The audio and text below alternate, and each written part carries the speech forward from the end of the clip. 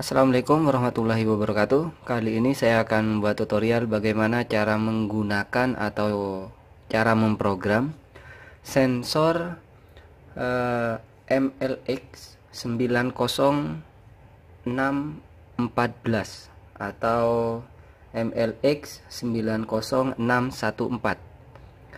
bentuknya seperti ini dan untuk tegangan kerja adalah 3,3 volt. Tegangan kerjanya ini 3,3 volt.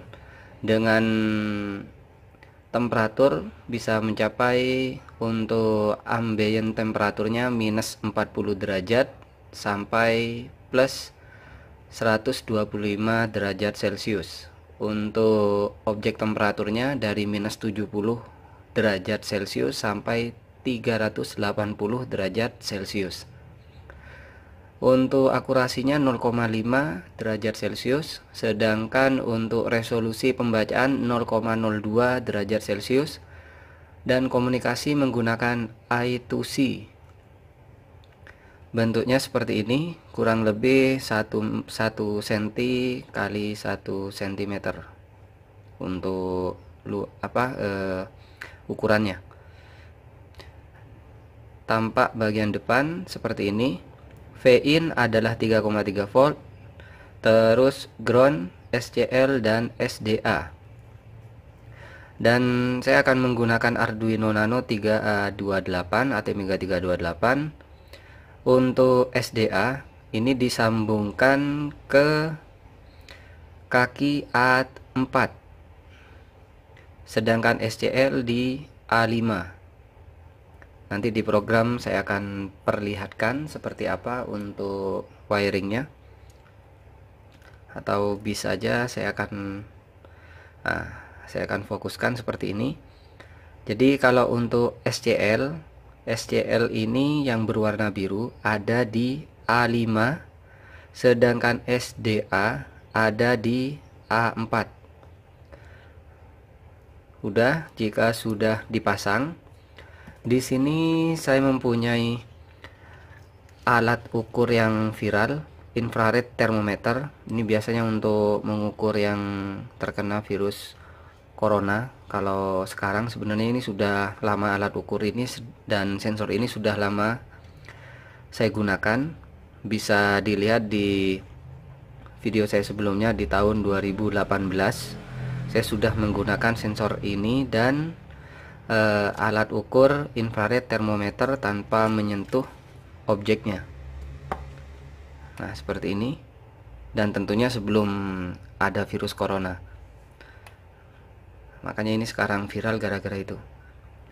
34 derajat celcius 34,5 derajat celcius. Sedangkan untuk laser di sini sebenarnya bisa dimatikan. Nah ini bisa dimatikan lasernya Nah ini bisa dimatikan dan masih tetap bisa mengukur karena sensornya sebenarnya yang bagian dalam ini. Nah di sini sensornya sejenis MLX 90614 sejenis ini sensornya. Cuma laser di sini supaya bisa terarah mana yang akan diukur. Dan kelebihan dari sensor ini ada temperatur ambient dan temperatur objek. Untuk lebih jelasnya bisa di search di Google perbedaannya temperatur ambient dengan temperatur objek.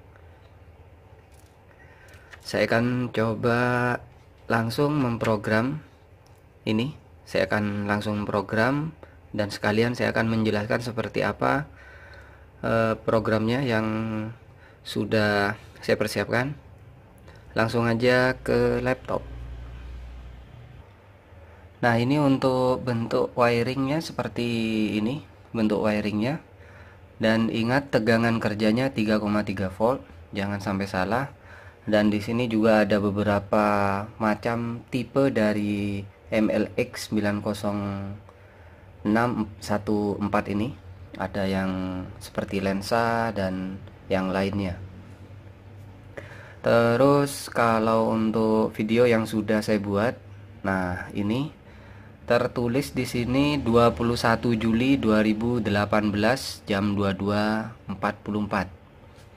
terus 27 Mei 2017 yang sudah saya buat juga sebagai smart charger untuk laptop agar baterai tidak ngedrop atau rusak jadi digunakan untuk memonitor temperatur dari baterai tanpa harus menyentuh permukaan baterai tersebut. Dan yang kedua adalah monitoring temperatur kabel ya, menggunakan ISP8266 sebagai web server. Jadi bisa dilihat nanti eh, temperatur kabel dan yang lainnya. Bisa lebih jelasnya langsung aja ke videonya ini.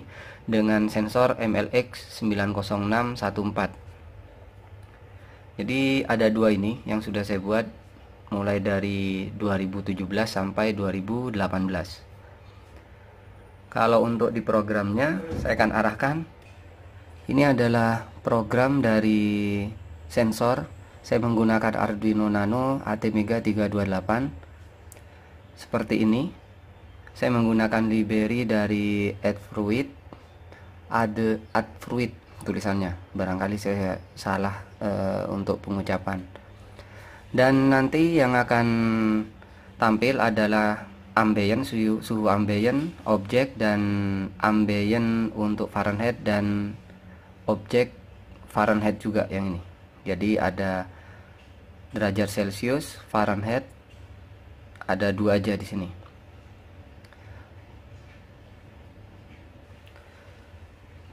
dan saya sudah mengupload program ini. Langsung aja saya akan coba untuk melihat di serial monitor. Nah sebelah kanan ini ini sudah terbaca untuk sensornya. Ini ya sensornya ya. Terbaca untuk derajat celciusnya yang ambient 28,93 derajat Celcius sedangkan untuk objek 27,63 derajat Celcius. Jadi ini belum terhalang sama sekali ke objeknya. Dan saya akan coba ukur. Saya akan dekatkan tangan saya seperti ini. Dan yang terukur untuk objek kalau ambientnya ini masih tetap di ring 28,9 sampai 29,1 derajat Celcius sedangkan objeknya ini 34,5 sampai 3,34,6 ringnya seperti itu. Untuk Fahrenheitnya bisa dilihat juga. Mudah-mudahan jelas. 34,4 ya 3,34,4 dan saya akan coba menggunakan eh, sensor atau alat ukur infrared termometer ini jadi 34, sekian. Cuma di sini saya masih belum ada saya akan coba nyalakan lampu terlebih dahulu. Nah lampunya sudah saya nyalakan jadi tadi itu 34, sekian.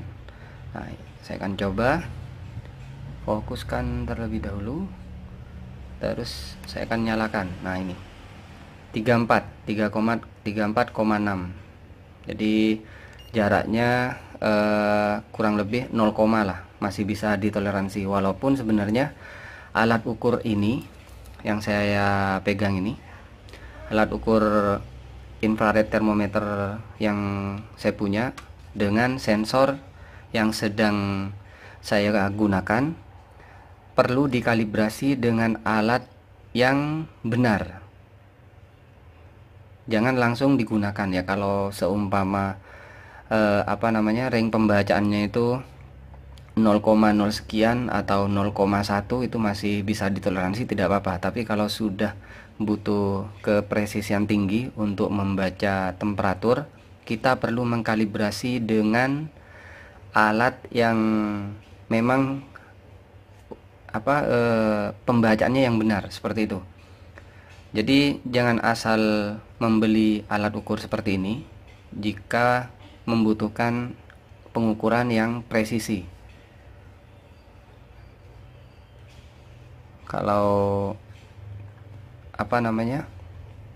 Kalau yang ML, MLX 90614 ini kita bisa mengkalibrasinya melalui program Arduino ini.